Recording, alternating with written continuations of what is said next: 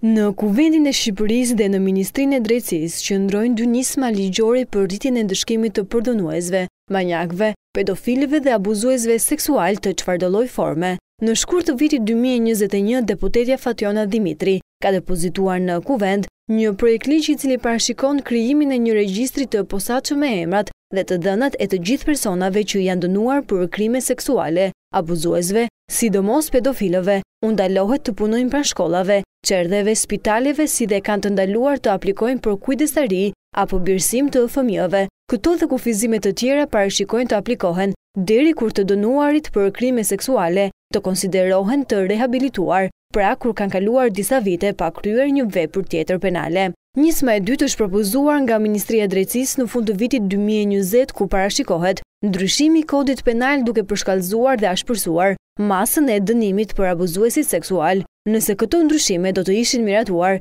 pesë përdhunuesit e pesëmbëdhjetë vjeçares në Rrëshen, do të dënoheshin, secili jo më pak se tridhjetë vite burg. Nisma parashikon një dënim nga shtatë deri në pesëmbëdhjetë vite për kryerjen e akteve seksuale me fëmijë të mitur që nuk kanë arritur moshën gjashtëmbëdhjetë vjeç. Kur akti seksual kryhet me kanosje për përdorimin e dhunës, dënohet nga dhjetë deri në pesëmbëdhjetë vjet burg. Kur vepra penale kryhet me forcë duke dehur të miturin, bashkërisht nga më shumë se një person, kur shfrytëzon cilësitë specifike të personit, kur kryhet nga njerku, mësuesi e të tjerë, dënohet jo më pak se njëzet e pesë vjet, kur vepra penale kryhet në edhe më shumë se një nga rrethanat e mësipërme, dënohet jo më pak se tridhjetë vite burg, kur vepra penale ka sjellë si pasojë vdekjen ose vetëvrasjen e viktimës së mitur, dënohet me burgim jo më pak se tridhjetë e pesë vjet ose me burgim të përjetshëm. Kodi aktual në fuqi parashikon një marzh dënimi dhjetë vite më pak, nuk parashikon dënimin e përjetshëm